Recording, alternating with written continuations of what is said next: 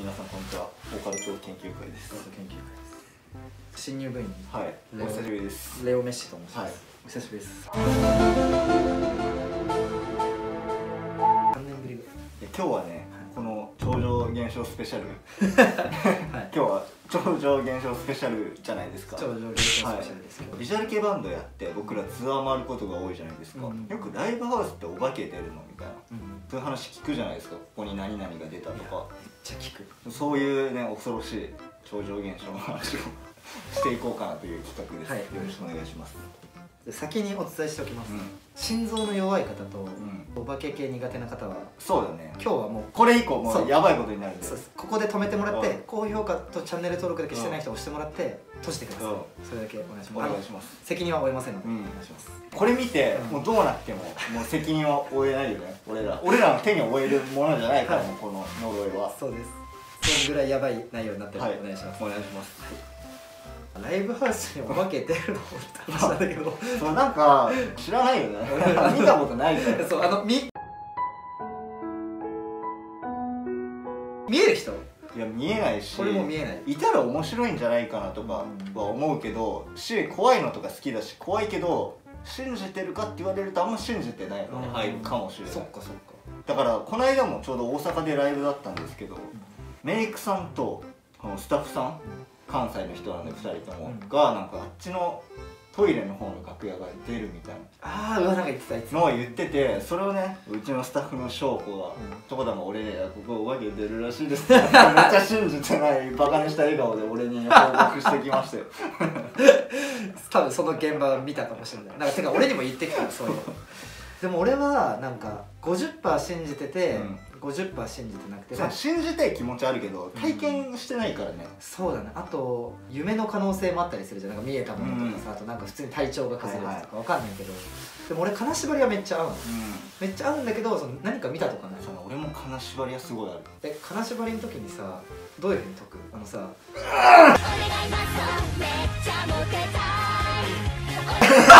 なん てやると当たる金縛りの解き方で一本の俺 VK 版の。え俺は俺やばいよ。金縛りさ起きてさなるじゃん。うわ最悪みたいなうん。でもう脳みそは起きてんだけど体が寝てるはいもう全然出て声とかもぐらいしか出ない。はいもう全然動かないんだけどもう今持ってるうんパワーを全部集中させてうん。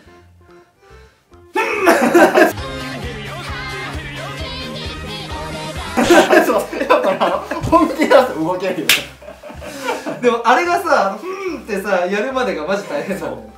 何にもないけどさこっちもうんってやってこっちに顔あったらどうしようとかちょっと思うけど。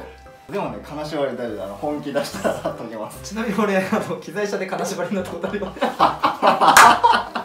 あったわなんか助手席で金縛俺一回だけあの2019年あたりの宇都宮かどっかでうん。機材車で金縛りにあってうんやばかったっすよ。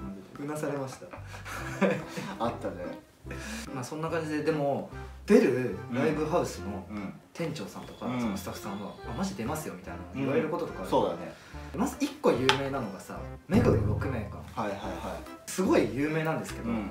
これさいろんなとこでちょいちょい話してるけど動画では初めてかもしれないですけど当時ね、うん。俺とテイカが高校生の頃やってたバンドで6名館めっちゃ出てたじゃん。実はアーティスト写真アーシャっていうものも撮ったこともなくて別の動画でお伝えしたのはそうホッピーさんっていうあの当時出会ったデザイナーの人がカメラでちょっと撮ってあげるからなんか撮ろうよって言ってくれて、6名館の日のライブのなんか楽屋の階段みたいなところでなんかちょっとかっこつけた写真撮って加工してもらうみたいな写真を撮ったんですよ。めっちゃダサいいやちなみにそれめっちゃダサいっていうのが怖いで載 せとく で6名館ってマジで心霊写真がよく写るとかう。んお化けが出るって言われててただ6名館で心霊写真を撮ったうん。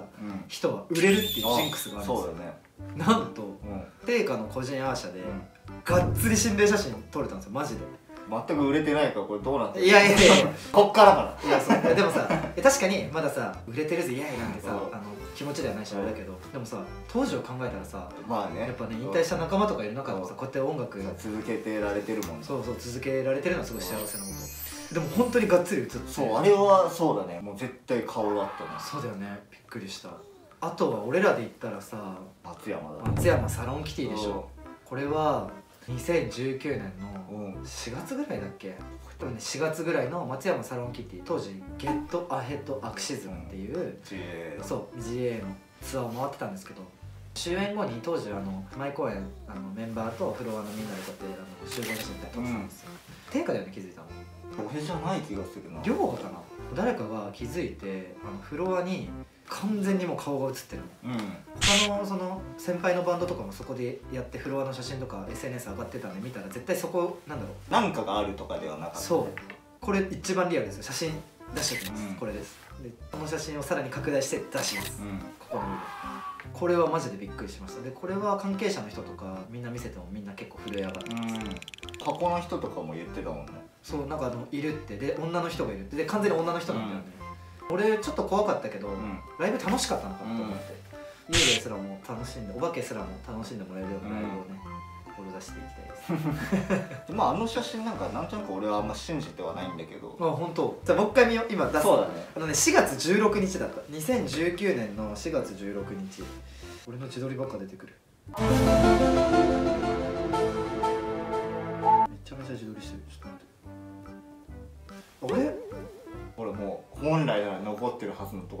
くなってるんですよこのデータが。いや確かにおかしい。